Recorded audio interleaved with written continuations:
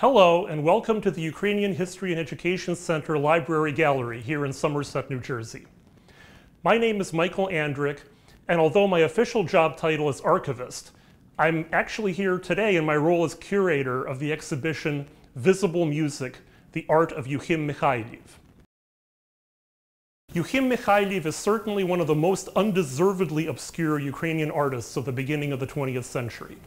He was a symbolist at a time when symbolism was already going out of fashion, and his untimely death during the Stalin terror certainly contributed to his not being very well known in Ukraine. This exhibition is the first major presentation of Mykhailiv's art in over 30 years. Some of the works are being displayed for the first time in, since the early 1960s, and a few are actually being publicly exhibited for the first time ever, as far as we know. The symbolists from turn of the 20th century Russian Empire wanted to get away from naturalism.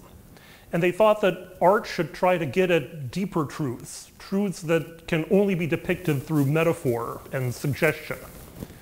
Mykhailiv was especially interested in depicting the intangible and the invisible, things like history and music. He wasn't a musician himself, but he certainly had a deep appreciation of music. And there are many allusions to music in the titles that he chose for his works. In fact, music may literally have been something that was visible for him. That's actually, there's actually good evidence to believe that he was an auditory visual synesthete, in other words, his brain would literally perceive sounds as colors or shapes. Mykhailiv was born in the city of Oleshki in southern Ukraine. He displayed an obvious artistic talent as a child, and the local government awarded him a scholarship in 1902 so that he could travel to Moscow to study art and design. He eventually graduated from the Moscow School of Painting, Sculpture, and Architecture, where he studied under Valentin Serov and Sergei Korovin. During the 1917 revolution, he and his family relocated from Moscow to Ukraine, where he would spend most of the rest of his life. Mykhailiv had an abiding love of Ukraine, but his depictions of Ukrainianness were totally different from those of his predecessors. He completely rejected the then popular genre scenes of happy peasants and embroidered costumes but instead he reached back into much deeper layers of Ukrainian history and culture, like the past glories of the Kievan Rus and the Cossack state, or the steppe and the stone babas that were put on top of grave mounds by prehistoric nomads. He used these themes to create imagined landscapes with sometimes strange metaphorical juxtapositions. His first really big symbolist treatment of Ukrainian history was in his Ukrainian Sonata triptych of 1916.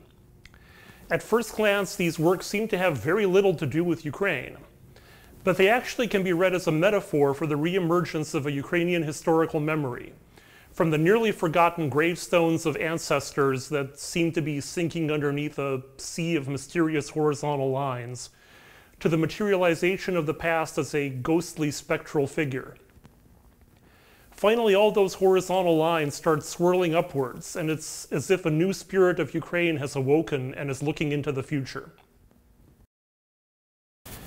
Mykhailiv was very strongly influenced by the Lithuanian symbolist artist Mikalojus Čiurlionis. We know that he saw Čiurlionis' works at a major exhibition in Moscow not too long before he painted the Ukrainian Sonata. And some of the elements in his triptych are direct references to elements in Čiurlionis' 1909 painting Lithuanian Graveyard. Unlike his Russian symbolist contemporary Nicholas Roerich, Mykhailiv remained in the Soviet Union after the revolution. He was active in the Ukrainian Renaissance of the 1920s, and the Mykhailiv family home became a sort of a salon for the Kyiv literary and intellectual scene. In 1924, the Mykhailiv's only child, their eight-year-old son Yurasik, suddenly died of diphtheria. Then two years later, their daughter Tetyana was born. These two momentous life events led to the creation of the Moonlight Sonata triptych of 1927, which is certainly one of his most complex works.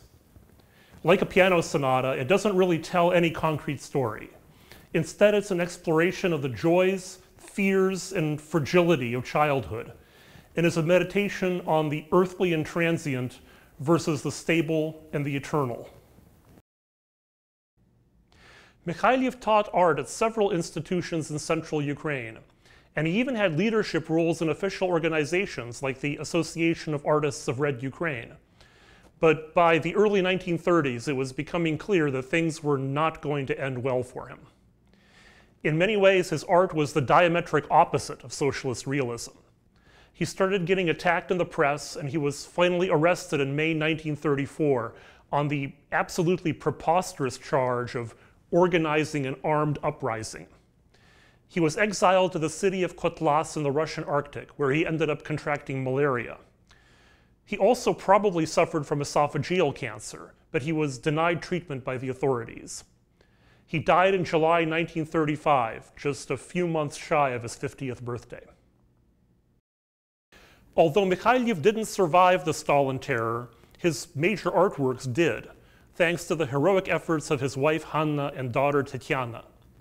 They took more than 70 works with them when they left Kiev in 1943, and they literally hand carried them for part of their journey. They eventually ended up in the Somme Kaserne displaced persons camp near Augsburg, Germany, and in 1949 they came as refugees to the United States. Most of these works remained with Hanna and then with Tatiana and her husband George Chaplenko here in New Jersey. They finally became part of the UHEC permanent collection through a bequest from George Chaplenko in 2006. Unfortunately, Mykhailiv's idiosyncratic works never really caught on, and they mostly slipped into obscurity. However, they remain a document of a unique period in Ukrainian history. His work has attracted increasing attention in post-independence Ukraine. He was the subject of an international conference in 1997, and a monograph and catalog raisonné was published in 2003. Thank you for watching this virtual tour of the exhibition Visible Music, The Art of Yukhym Mykhailiv. And we hope that it helps to build awareness about this fascinating and underappreciated artist.